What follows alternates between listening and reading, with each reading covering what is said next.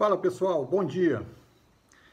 Caso a programação de hoje do Senado seja mantida, vai à votação do plenário o texto final apresentado pelo senador Ângelo Coronel, do PSD da Bahia, relator do projeto que pode levar à criação da chamada Lei das Fake News, em relação ao qual há ainda um conjunto expressivo de dúvidas sobre o risco de o pretexto justo de estabelecer algum nível de controle sobre as redes sociais servir à criação de regras capazes de ferir o sagrado direito de emitir opiniões livres no país.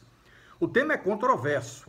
A falta de consenso impediu a votação do texto na semana passada e ainda não há certeza de que vá a plenário nesta terça.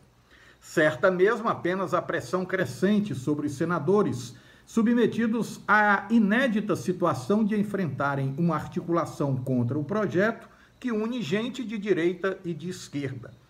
Mesmo acertos feitos pelo relator ao longo das discussões com segmentos interessados que o procuraram nos últimos dias, não foram suficientes para virar o jogo em favor da proposta.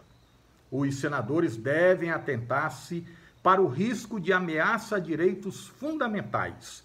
Na verdade, a grande preocupação com todo o processo diz respeito à pressa com que se decidiu enfrentar o problema, que é real, das notícias falsas que circulam pelas redes, algumas delas de cunho criminoso e vinculadas a práticas que precisam mesmo de ser combatidas e de leis modernas que tornem isso possível.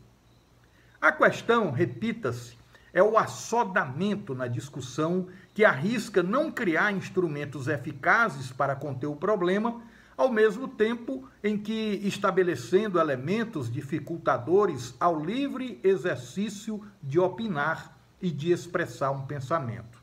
Seria um retrocesso inaceitável, seja qual for a opinião ou o pensamento, desde que, claro, manifestado com respeito às regras democráticas. O fato é que se trata de um tema de grande importância que pode ter efeitos bons e ruins sobre o cotidiano de todos os cidadãos e que exige uma grande atenção dos parlamentares que sobre ele podem se debruçar hoje.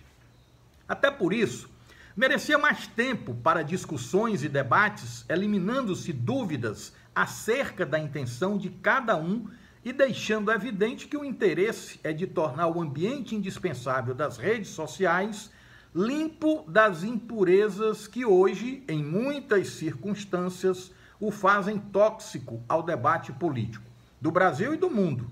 Mas a parte que nos interessa é a que está em discussão, com uma certa pressa preocupante no Senado Federal. Sigamos com força e fé.